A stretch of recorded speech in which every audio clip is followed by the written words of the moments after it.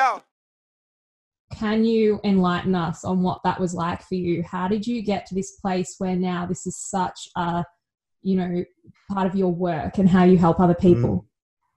Yeah, I mean, you know, first off, I, I, never wanted to be in this world. You know, um, I think you and I kind of have that, um, you know, on the on on par there. Um, you know, I wanted to be an AFL player growing up. Um, that was my inspiration. You know, it was an it was an it was a need for external validation upon reflection, but AFL was my world. That was my identity. You know, and I'm so interested in identity and how multifaceted and layered it is because how could something like kicking a football literally be who I was? You know, but I mean, I think I was um, always kind of a you know a bit of a jumpy kid. Uh, you know, my first memories are um, fear based. Uh, you know, I was I went to the uh, went to the bathroom and um, my you know a friend of mine were jumping on the trampoline outside and I couldn't wait to get out there. And um, you know obviously I had to go to the toilet so I had to have time with my thoughts and my first memory is kind of a panic attack because I remember looking at my hands and thinking how did I get into here? Like how did I get into this body? And I, I don't know how old I was but shortly after that I started I started writing when I was about four years old. And um, the first like major piece I wrote was a 10,000 word essay about a kid with depression and his, his parents were moving through a trauma.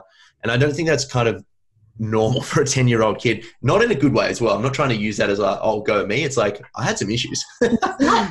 10,000 words? Yeah, well, I found it about a year ago and start and reread it, and it was it was just over ten thousand words. So um, it was in 2003. So I was born in 1993, and um, the date was was in 2003. And um, yeah, it was interesting reading back on it because the protagonist was a was a young fella named Peter Reynolds, and his life was just getting worse and worse. His parents died in a fire accident. He was living with his grandparents. He was bullied at school, and he couldn't find his place in the world. But I think abstracting out, I've always been interested in how to find meaning because I've been so confused as to how we we are alive in a world we don't know you know um, metaphorically speaking.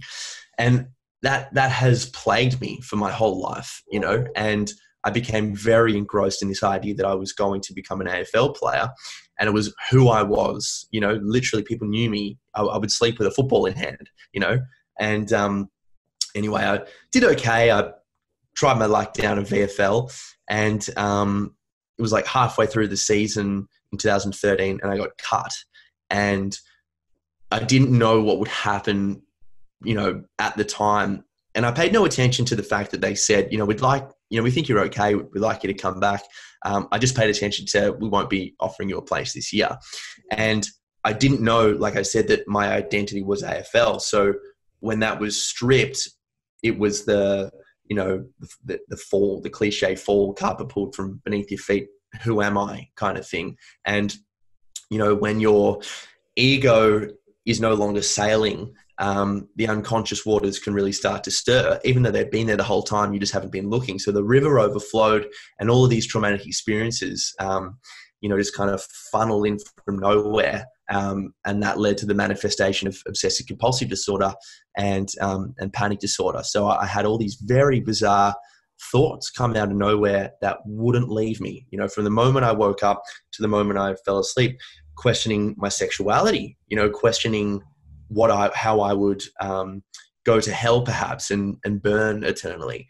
Questioning why I wasn't already schizophrenic and I w- that I, I couldn't that and that I was hearing voices and seeing shapes moving that no one else could see, and that everything that I saw was um, coming from my own consciousness and I was trapped in this world.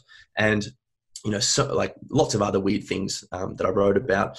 But the compulsions were really interesting as well because the compulsions led to a need for certainty to prove those that those thoughts weren't valid, and to to move from a place of AFL is my life, you know, two months later to having these kind of thoughts and compulsions, I just thought I went insane.